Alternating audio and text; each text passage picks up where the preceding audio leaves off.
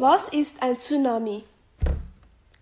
Tsunamis sind Flutwellen, die bis zu 800 km pro Stunde schnell werden. Treffen sie auf das Land, verursachen die meterhohen Wellen extreme Schäden.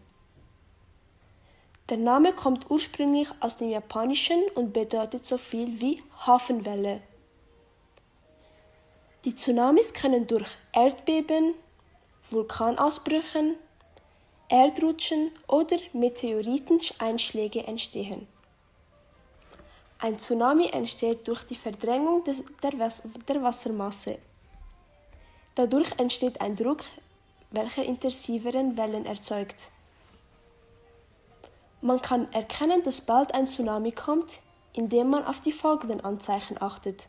Zum Beispiel schneller Anstieg oder Rückgang des Wassers ist ein Anzeichen, eines der Anzeichen.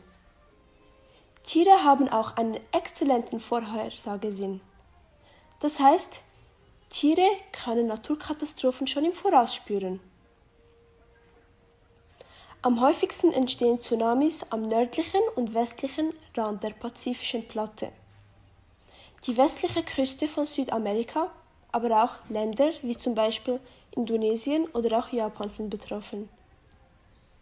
Ein Tsunami hat eine durchschnittliche Größe von 10 Meter, ungefähr so groß wie ein Sprungturm.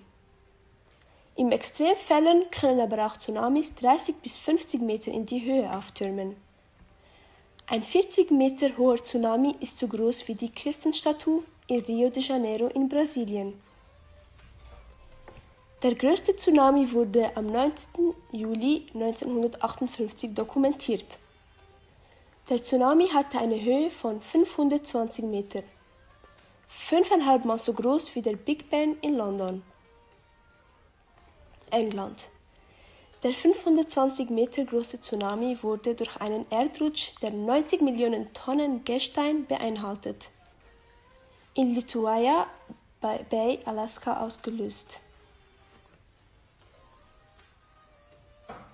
Genau, das war ein Einblick in die Welt der Naturkatastrophen zum Thema Tsunami.